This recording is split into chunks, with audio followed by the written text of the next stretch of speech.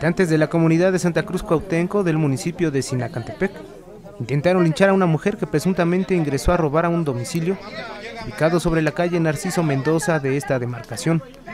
Los hechos se registraron cerca del mediodía. Di la verdad, por favor. Ahí está. Hasta ti te está, hasta ti te está ignorando. Di la verdad, por favor. Por favor, di la verdad. Di la verdad, por favor. Pero es que por eso no te hubieran hecho eso. Los vecinos se percataron de su presencia y la detuvieron. La amarraron, la golpearon, le cortaron el cabello y amenazaron con lincharla. A ver, vale, doy una pregunta. ¿Dónde radica ella? Sí, bueno, ¿y qué anda haciendo allá? Para un alimento, pues es algo ilógico. La verdad. No sé, joven. La yo- verdad, es algo ilógico. Yo, yo vengo de trabajar, Pues joven. sí, pero si no dice ella, también te vas a quedar tú detenido. De acuerdo con los afectados, la presunta delincuente extrajo 7 mil pesos de esta casa. Ahí está como dejaron, señor. Yo trabajo en casa.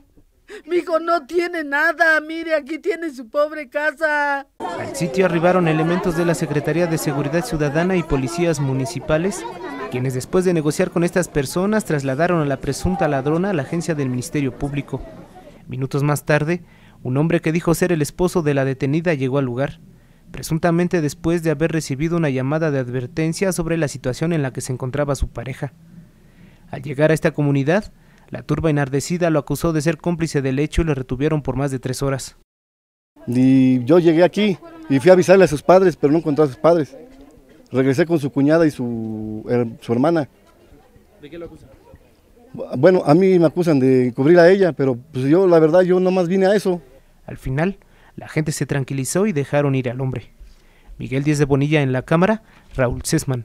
Noticieros Televisa.